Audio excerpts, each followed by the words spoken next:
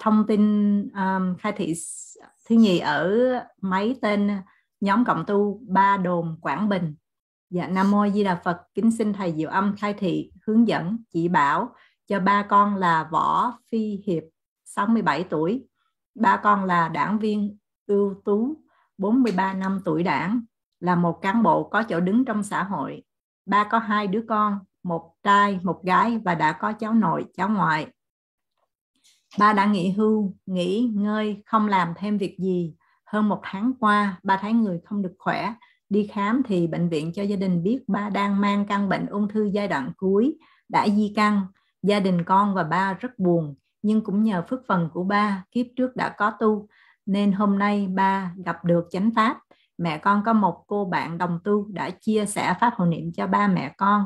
Nghe cô bạn của ba mẹ chia sẻ pháp hộ niệm thì ba bảo mẹ mời ngay ban hộ niệm cho ba. Gia đình con đã đến à, tận nơi thành tâm thỉnh mời ban hộ niệm.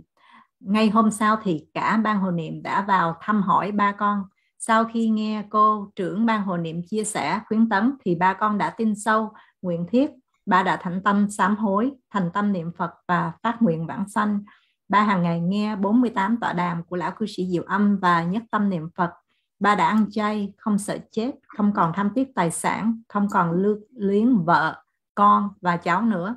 Ba đã buông bỏ tất cả để đi theo đức phật a di đà ba không giận hờn ai. Gia đình con rất tin tưởng phật pháp, nhất là pháp hộ niệm. Duy chỉ có một điều kiên cử ngũ tân là em trai con chưa hiểu rõ. Gia đình con kính xin thầy diệu âm chia sẻ, khuyến tấn cho em con chỗ này à trước đây, ba con có làm thịt chó đi bắt cá ở ao hồ về nuôi sống gia đình. Lúc gia đình còn khó khăn mong thầy diệu âm khai thị và điều giải chư vị oan gia trái chủ cho ba con. Để lúc xả bỏ báo thân ba được an toàn vãng sanh tây phương cực lạc. Gia đình chúng con thành tâm cảm niệm công đức của thầy diệu âm. Nam mô a di đà phật. A di đà phật. Thành thật xin hoàng hồ bác bác thịt trước đây, bác ăn thịt chó. Thực ra người Việt Nam mình ăn thịt chó nhiều lắm, không phải một mình bác đâu. Người ta nói thịt chó ngon lắm, nhưng mà bây giờ bác ngộ ra rồi. Chỉ cần nghe mấy người hộ niệm nói vài câu mà bác sám hối. Quyết lòng ăn chay.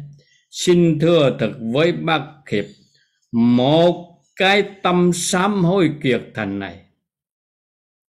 Từ cái tâm này đã chuyến một người phàm phu như bác hiệp. Ăn thịt chó. Sẽ trở về tây phương thành một vị đại bồ tát. Hồi nào không hay đây chưa vị?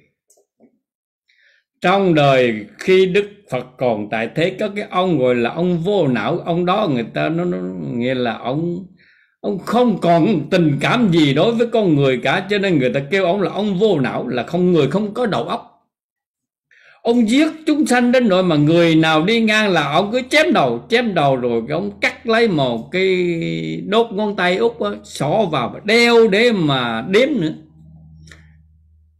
Cái sự ác này đối với thế gian, chắc ông này phải rụng không một ngàn cái đầu cũng rụng chứ đừng có nói một cái đầu. Nếu mà cho bao công chứ thế thì thôi, chịu thua luôn. Chứ ác thì ông này không còn cái cái con đường sống ấy thế mà gặp đức phật khuyên vài câu, ông buông đồ đau xuống, quyết lòng tu tu hành vẫn chứng quả. Thì bây giờ bác hiệp nhìn lại những lúc mà mình làm chúng sanh, làm thịt chúng sanh mà ăn năn hối hận, cái điểm này là cái điểm đài quý. Cái điểm mà đài hoan nghênh. Xin chư vị cho rằng vỗ tay hoan nghênh bác đi cho nên chư vị thấy không? Tất cả phàm phu chúng ta không người nào là không tạo nghiệp. Chính diệu âm này cũng tự xác định với bác hiệp là khi chưa biết tu, nhất định tạo nghiệp trùng trùng. Cũng đi bán chim, cũng đi suốt ca, cũng làm đủ điều hại chúng sanh chứ không phải gì một người như như bác mà đã là một đảng viên ưu tú nữa thì làm sao không có phước báo? Vì có phước báo như vậy cho nên tạo nghiệp là chuyện bình thường. Nhưng cái điều quý báu là biết ăn năn sám hối. Biết thấy rằng những chuyện này là điều sai lầm. Cái quý là ở tại chỗ này, cho nên cái pháp niệm Phật bản tranh, không sợ người làm tội mà chỉ sợ người không biết quay đầu. Nay bác đã quay đầu. Vì quay đầu quyết lòng sám hối, quyết lòng ăn chay, quy lâm bác. Hiệp ơi nhất định bác được vãng sanh rồi. Xin hỏi bác hiệp có mừng không? Có vui không bác? Có hứa với đại chúng là nhất định giữ tâm sám hối này. Và sám hối bằng cách gì bác hiệp biết không?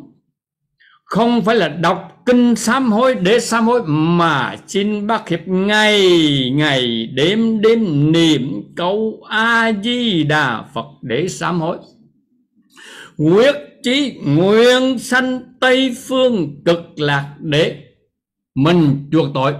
Khi trở về tây phương, cực lạc ban thành một vị đại bồ tát thần thống diệu dụng rồi nhất định vì khổ của chúng sanh, vì cảnh nạn khổ đau của chúng sanh, bác đi cứu chúng sanh là sa mối. Như vậy rõ ràng con đường thành Phật của bác cũng ở tại câu A Di Đà Phật, cầu sanh Tây phương cực lạc sám hối của bác cũng ở tại câu a di đà phật. Cầu tránh tây phương cực lạc bác thành phật cũng do câu a di đà phật. Cầu tránh tây phương cực lạc sau này bác đi cứu chúng sanh cũng bằng câu a di đà phật. Cầu tránh tây phương cực lạc. Thế đơn giản không? Rõ ràng một con đường đi thẳng vì sự cứu độ của Đức A Di Đà từ bây giờ cho đến vô lượng a tăng kỳ kiếp trong tương lai vẫn còn là sự đổ sanh của Đức A Di Đà.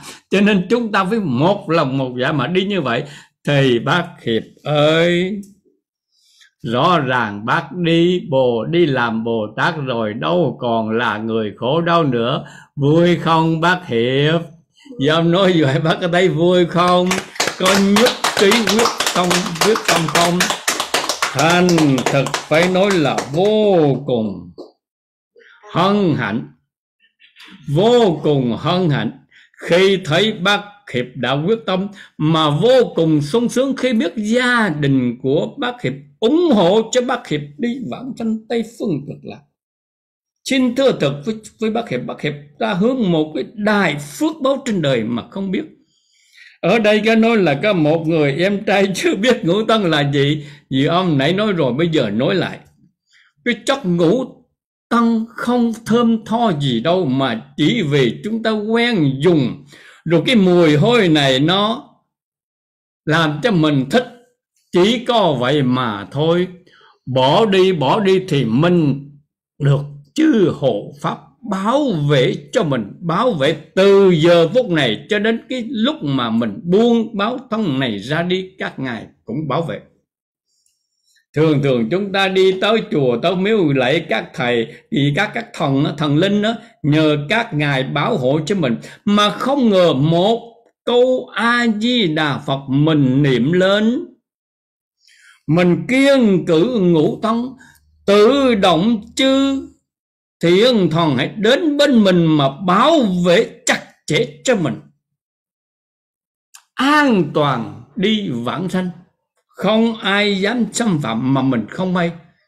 Cho nên chư vị có thấy không? Khi mà mình hiểu được trách pháp chánh pháp rồi, mình thấy rõ ràng đường mình đi vô cùng dễ dàng mà an toàn phẳng lặng. Chứ đâu có phải là tới các miếu, các đền để cầu các ngài bảo vệ mình không biết cầu cái gì đấy, đem cặp vịt tới mà cầu thần.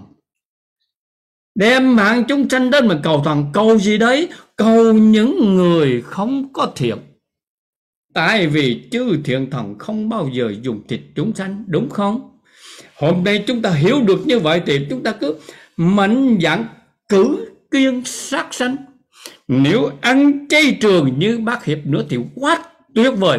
Thành tâm sám hối tội xưa, niệm câu a di đà phật. Hàng ngàn chư hộ pháp đến bên mình bảo vệ, chứ không phải một vị, hai vị thần ở miễu đâu.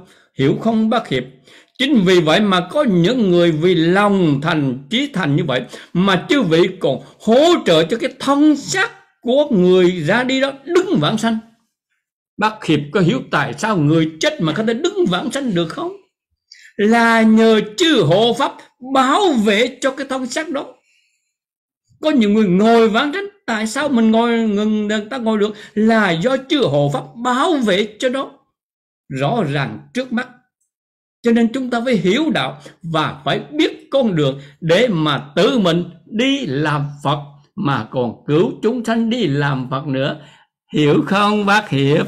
Đồng ý với gì ông không bác Hiệp? Vui mừng không bác Hiệp? Xin tất cả chư vị cho rằng vỗ tay đi. Một lòng thành kính như vậy, bác Hiệp ơi, bác đã đi làm Phật rồi. Đi làm Phật rồi bây giờ bác lo cho hai người mẹ. Một người mẹ vợ một người mẹ mẹ ruột. Tâm tình này hiếu nghĩa này vô cùng quý báu. Mà muốn lo cho trọn vẹn chính bác hiệp đi vãng sanh. Mẹ mình tự nhiên vui mừng. Hai người mẹ đều vui mừng mà hàng vô lượng những người mẹ trong nhiều đời nhiều kiếp cũng tiếp tục vui mừng hoan hỷ.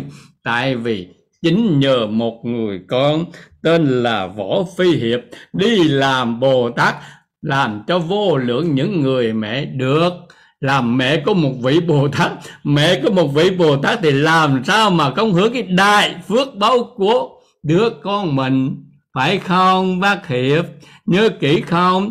Tất cả đều từ một cái là mình đi vãng sanh, mình lo được tất cả. Không đi vãng sanh, mình không lo được cái gì hết.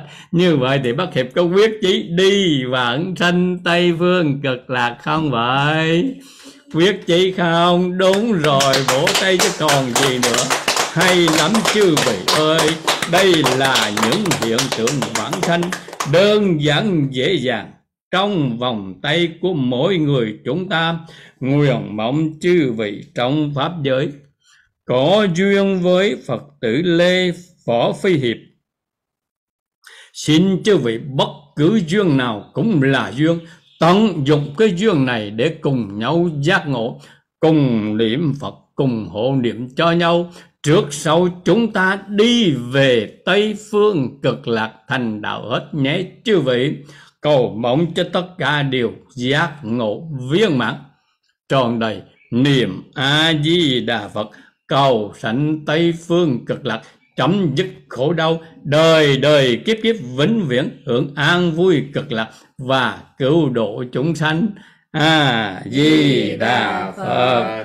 Vỗ tay hoan hô bác thiệt đi chư vị ơi. Nhớ nhé gia đình mình yếm ủng hộ yếm trợ cho bác hiệp vãng sanh nhé. A di đà phật. Hay vô cùng. A di đà phật dạ nam mô a di đà phật.